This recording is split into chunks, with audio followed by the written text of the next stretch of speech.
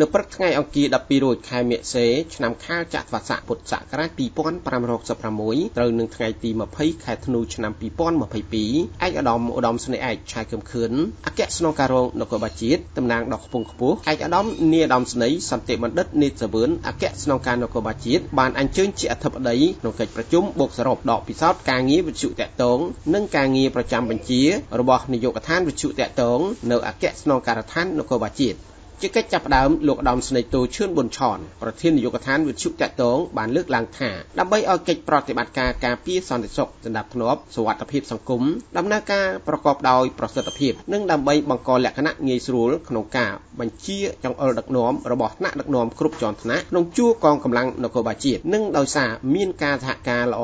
ជាមួយបណ្ដាប្រទេសជាមិត្តបណ្ដាក្រុមហ៊ុនអង្គភាពស្ថាប័នពាក់ព័ន្ធនាយកដ្ឋានវិទ្យុតាក់ទងបានរៀបចំប្រព័ន្ធតាក់ទងព័ត៌មាននៅទីបញ្ជាការប្រចាំបញ្ជានៃអគ្គស្នងការដ្ឋាននគរបាលជាតិដែលមានប្រព័ន្ធព័ត៌មានទាន់ហេតុការណ៍រួមមានប្រព័ន្ធទូរស័ព្ទ Hotline 117 023វិទ្យុ ID ប្រើប្រាស់ក្នុងប្រព័ន្ធស្ថានីយ៍ផ្សាយ X1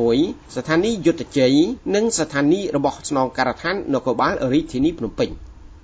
លោកឧត្តមស្នេហ៍តូប្រធាននាយកដ្ឋានបន្តថាប្រព័ន្ធនេះត្រូវបានប្រើប្រាស់សម្រាប់ទទួលព័ត៌មានពីប្រជាពលរដ្ឋគ្រប់មជ្ឈដ្ឋាន ពីវិទ្យុផ្សាយសម្លេងឯកជន អង្គភាពអង្គការនិងស្ថាប័នផ្សេងៗនៅហេតុការណ៍ចាំបាច់បន្ទាន់នានាដែលកើតមានឡើងពាក់ព័ន្ធដល់សន្តិសុខសណ្ដាប់ធ្នាប់សាធារណៈនិងបញ្ជូនព័ត៌មានដល់អង្គភាពស្ថាប័នមានសមត្ថកិច្ចដើម្បីដោះស្រាយតាមជំនាញ ចំណែកការងារប្រចាំបញ្ជានេះផងដែរគឺបានទទួលព័ត៌មានទាន់ហេតុការណ៍តាមប្រព័ន្ធទូរស័ព្ទ Hotline 117តាមប្រព័ន្ធវិទ្យុតាក់ទង ID និងតាមបណ្ដាញសង្គមសរុបចំនួន976លើក និងបានដោះស្រាយសរុបចំនួន976ករណី ឯកឧត្តមឧត្តមស្នេហ៍ឯកឆាយកំខឿនអគ្គស្នងការរងនគរបាលជាតិបានថ្លែងអំណរគុណដល់លោកឧត្តមស្នេហ៍តូឈឿនប៊ុនឆនប្រធាននាយកដ្ឋានវិទ្យុតកតងដែលបានលើកឡើងនៅសមិទ្ធផលសំខាន់សំខាន់ដែលសម្រេចបាន និងបញ្ហាប្រឈមជាក់ស្ដែងព្រមទាំងទិសដៅសម្រាប់អនុវត្តបន្តសម្ដៅលើកកម្ពស់គុណភាព ប្រសិទ្ធភាពការងារបន្ថែមទៀត ឆ្លៀតក្នុងឱកាសនេះតាំងនាមឯកឧត្តមនាយឧត្តមស្នេហ៍សន្តិបណ្ឌិតអគ្គស្នងការនគរបាលជាតិឯកឧត្តមឧត្តមស្នេហ៍ឯកឆៃគឹមខឿនបាននាំយកនៅប្រសាសន៍ផ្ដាំផ្ញើសាកសួរសុខទុក្ខកោតសរសើរនិងលើកទឹកចិត្តចំពោះថ្នាក់ដឹកនាំនិងមន្ត្រីនៃនាយកដ្ឋានវិទ្យុតកតងនិងមន្ត្រីប្រចាំបញ្ជាទាំងអស់ដែលខិតខំបំពេញភារកិច្ចបានល្អនាពេលកន្លងមកពិសេសឆ្នាំ2022នេះយើងបានបង្ហាញនៅស្នាដៃលេចធ្លោជាច្រើនក្នុងព្រឹត្តិការណ៍ធំៗនាពេលកន្លងទៅ ឯកឧត្តមក៏បានកោតសរសើរដល់ថ្នាក់ដឹកនាំនាយកដ្ឋានវិទ្យុតកតងនិងមន្ត្រីពិសេសលោកប្រធាននាយកដ្ឋានក្នុងឆ្នាំ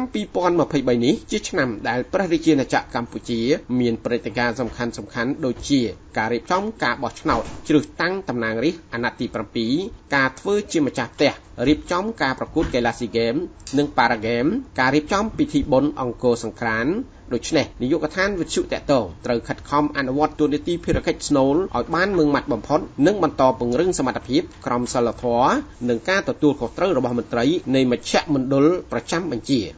ឯកឧត្តមឧត្តមស្នេហ៍ឯកឆៃកំខឿនអគ្គស្នងការរងនគរបាលជាតិក៏បានជំរុញលើកទឹកចិត្តឲ្យថ្នាក់ដឹកនាំនិងមន្ត្រីទាំងអស់នៃនាយកដ្ឋានវិទ្យុតកតងត្រូវខិតខំរក្សាសាមគ្គីភាពផ្ទៃក្នុងពង្រឹងសមត្ថភាពក្នុងការដឹកនាំពិសេស ត្រូវមានបេះដូងក្នុងការដឹកនាំឲ្យពិតប្រាកដគឺត្រូវធ្វើជាមេដឹកនាំគំរូដល់កូនចៅ មានតម្លាភាពនិងមានយុត្តិធម៌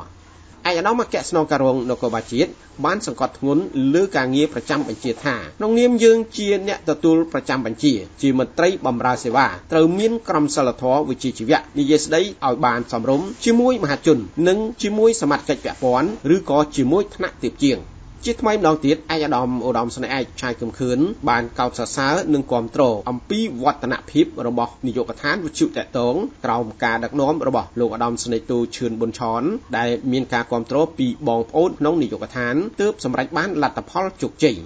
ឯកឧត្តមសង្ឃឹមថាការគ្រប់គ្រងនិងកិច្ចសហការនេះនឹងបន្តធ្វើឲ្យអង្គភាពទាំងមូលទទួលបានជោគជ័យបន្ថែមទៀត។